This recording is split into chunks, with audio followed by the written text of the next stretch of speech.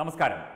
ഉത്തർപ്രദേശിൽ ഉത്തർപ്രദേശിൽ നടന്ന സംഭവങ്ങൾ അതിദാരുണമായ സംഭവ വികാസങ്ങൾ ഇപ്പോൾ ചർച്ച ചെയ്ത് അതിനെതിരെയൊക്കെ വലിയ ക്യാമ്പയിൻ അതായത് യോഗി ആദിത്യനാഥ് രാജിവെക്കണമെന്നൊക്കെ പറഞ്ഞാണ് ക്യാമ്പയിൻ നടക്കുന്നത്.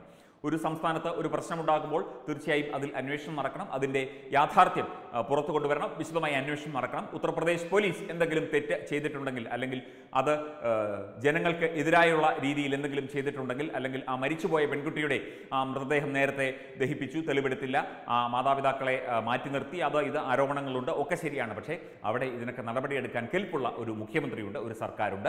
അദ്ദേഹം രാജിവെക്കണോ വെക്കേണ്ടയോ എന്നുള്ളത് അദ്ദേഹത്തിന്റെ തീരുമാനമാണ്. അദ്ദേഹം അത് വേണ്ട രീതിയിൽ കൈകാര്യം ചെയ്തുകൊള്ളും. ഇപ്പോൾ ഈ കേസിൽ സി ബി ഐ അന്വേഷണം നടക്കുന്നുമുണ്ട്.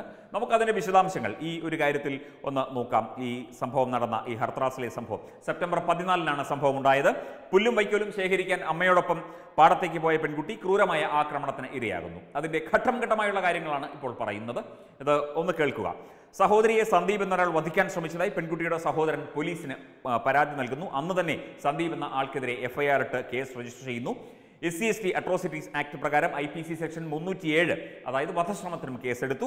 സെപ്റ്റംബർ പത്തൊൻപതിന് സന്ദീപ് എന്ന വ്യക്തിയെ പോലീസ് അറസ്റ്റ് ചെയ്തു. അപകടനില തരണം ചെയ്തിട്ടില്ലാത്തതിനാൽ ഈ പെൺകുട്ടിയുടെ മൊഴി എടുക്കാൻ സാധിച്ചില്ല.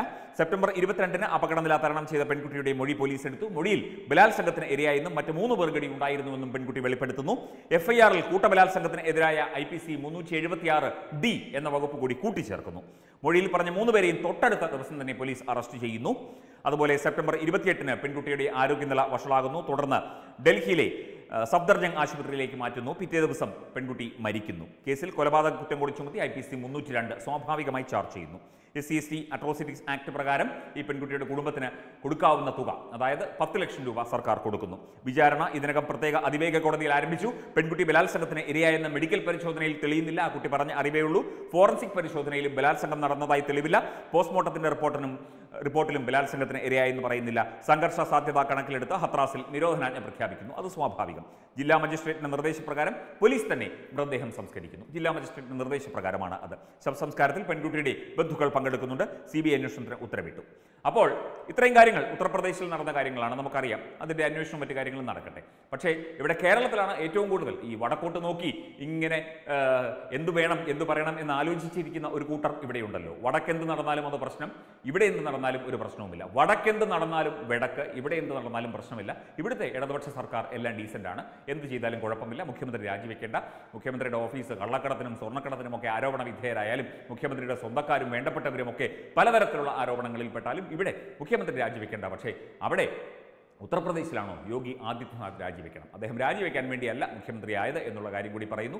അവിടെ ലോ ആൻഡ് ഓർഡർ നോക്കാൻ അദ്ദേഹത്തിന് നന്നായി അറിയാം. അദ്ദേഹം അത് കൃത്യമായി ചെയ്തുകൊള്ളും. അതിന് ഇവിടെ നിന്ന് ഉള്ള ഇവിടുത്തെ ആൾക്കാരുടെ ട്രെയിനിങ്ങും ഉപദേശവും ഒന്നും അവിടെ ഉത്തർപ്രദേശിൽ ആവശ്യമില്ല എന്നും കൂടി പറയുന്നു. കേരളത്തിന്റെ എത്രയോ ഇരട്ടി ജനസംഖ്യയുള്ള സംസ്ഥാനമാണ്. അവിടെ എല്ലാ കാര്യങ്ങളും നിയന്ത്രിക്കാൻ അവിടുത്തെ മുഖ്യമന്ത്രിക്ക് നന്നായി അറിയാം. ഇനി നമുക്ക് ഇങ്ങോട്ട് വരാം. നമുക്ക് നമ്മുടെ കേരളത്തിലേക്ക് തന്നെ വരാം.